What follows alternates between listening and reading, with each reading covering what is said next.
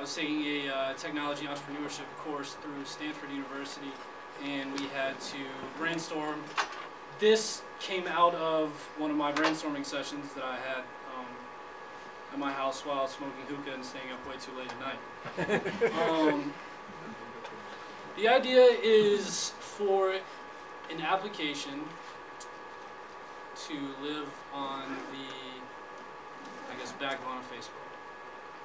The name of it is Facebookie. You may be able to assume something from that.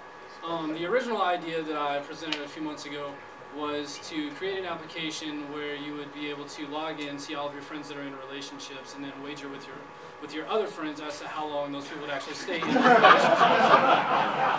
Um, That's a multi-million dollar idea. if not for the novels, you know. Yeah. Um, We, we literally did that on our own. Yeah, Like, literally. like, that's actually something we did, awesome. They have whiteboard bookie. right? yeah, yeah. Okay, keep going. Um, so uh, I, I've tried to, you know, since since I originally pitched, try to think beyond the borders of that. What could be done? What are the legalities behind everything? Um, and just last week, I don't remember what day it was, Thursday maybe, Wednesday or Thursday. Um, it became public news that Zynga is Zynga, the maker of Farmville and every other Spaceville that everyone hates but everyone plays for some reason. Um, they're really pushing um, to legalize online gambling in uh, Nevada, and that kind of, in whatever way, I guess, sparked my interest in this idea again. Simply because if Zynga's going to do it, they have billions of dollars that I will never have, but they have a good chance of legalizing whatever they want because of their lobbying power to an extent.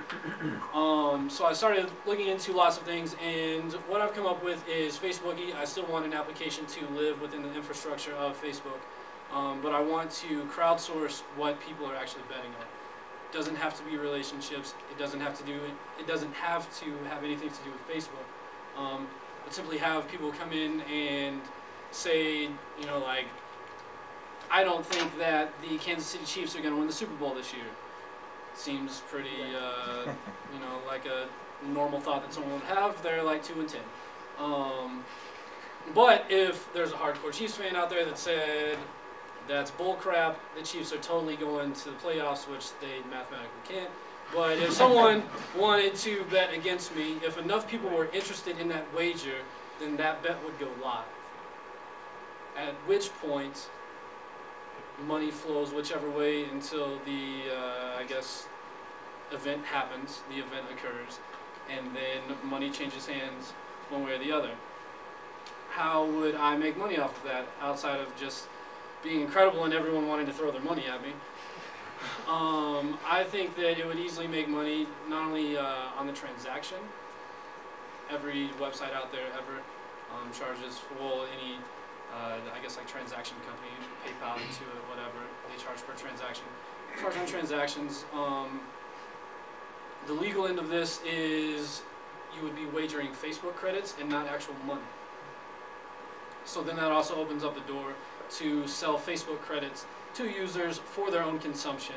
Doesn't have to be, you know, for use within Facebook. It just goes into the Facebook system. Um,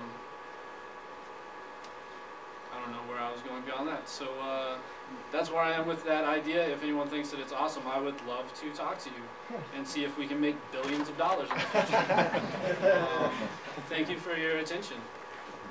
Thanks, Sean.